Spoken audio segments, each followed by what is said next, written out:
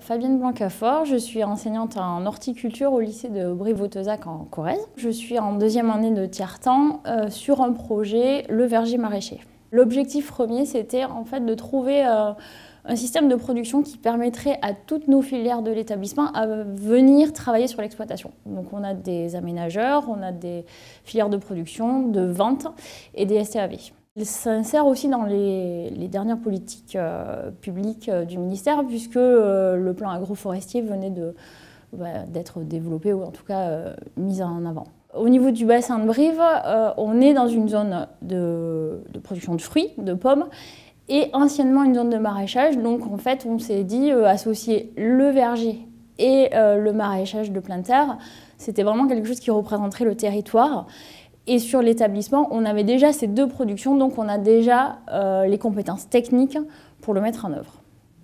Ma place dans le projet est de lister et de proposer des actions dès qu'elles se présentent à mes différents collègues et ensuite de les encadrer dans la mise en place de ces dernières.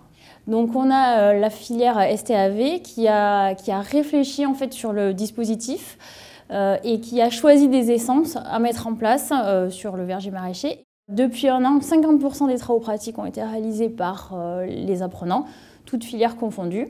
On a même réalisé des séances euh, pluridisciplinaires avec des niveaux différents. On a, depuis la rentrée 2017, euh, créé un MIL qu'on a intitulé Production et transformation des produits de l'agroécologie, dans lequel on travaille aussi sur, sur le verger maraîcher comme support.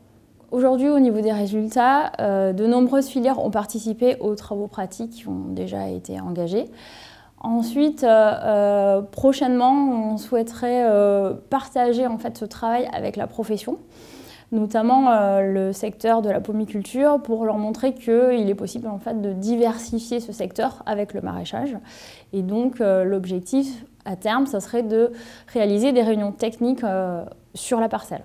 On souhaiterait aussi faire la promotion de ce projet au grand public avec des visites thématiques, peut-être par exemple pour les bords ouvertes. Et enfin, avoir des données euh, transférables, notamment sur la biodiversité et euh, la productivité d'une parcelle agroforestière de ce type.